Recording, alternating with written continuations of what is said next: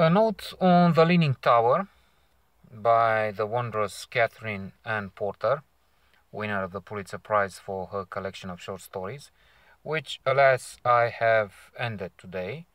Alas, because I enjoyed it so much, and I wish there would be more. But then, in some years' time, I will uh, come back to it, inshallah, and be able to enjoy it all over again. The Leaning Tower is uh, an exceptional narrative.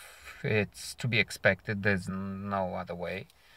Uh, considering the author, who was, by the way, uh, praised by the likes of uh, uh Welty, who said that these stories are uh, written with such a power that they are printed in our memory and Warren Penn said that there is there are so many of her stories that have no have not been surpassed in modern literature. Something like this. I don't have the exact quote. You can find it if you search for it.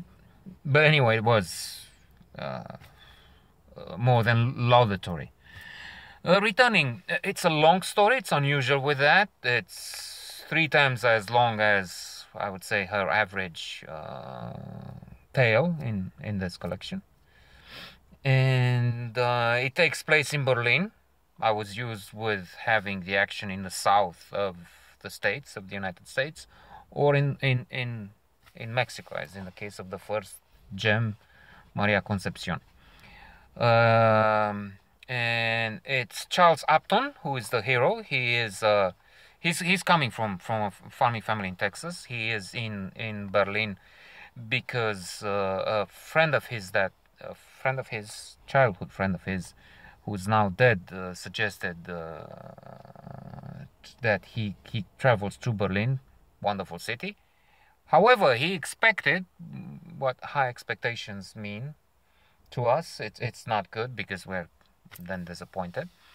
A, a town with castles and it's not. Furthermore cherry on top this is 1931 uh, Germany has been through a, a, a, a, terrible depression. There is one scene in which his landlady is showing him a suitcase with banknotes. And she says, Look, this is hundreds of thousands of, of marks, and here we have million marks notes. And they're all worthless. Uh, the inflation was staggering indeed, and would, you had to go uh, with with piles of money to buy anything, and, and from day to evening, the money would just lose value. And she says, you, you can take the suitcase and try and buy a loaf of bread. And you, you can't. You go and see. Uh, strangely, and wrongly, of course, um, those people there have a tendency to blame him, American him, because well, they didn't fight with, with uh, you didn't fight with us in the war. Indeed, in the First World War, that's what they're talking about. They, they fought against Germany and they elaborate on so many issues. The, the case of, of, of an incident in the first, I, I didn't know about, in the first part of the war when someone, a, a, a German general in the high in the hierarchy of the army, uh, took three days to, to complete an order, and they say these characters in the in the story that this cost them the war.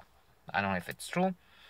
Uh, they talk about other people, how Germans are, how Americans are. Ah, we know the Americans come here, they throw money at dancers, and then they light their cigars with uh, a hundred dollar bill.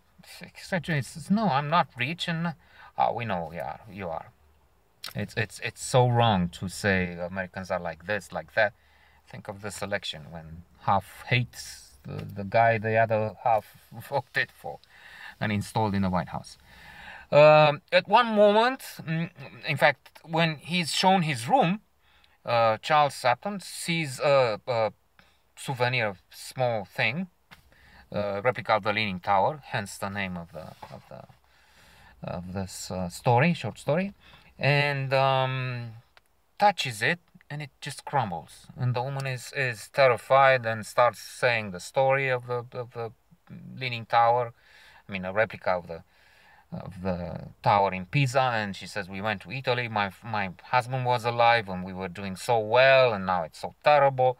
And we see the significance of this incident, of that cheap souvenir, but which had such a weight behind it, and of the narrative in a way.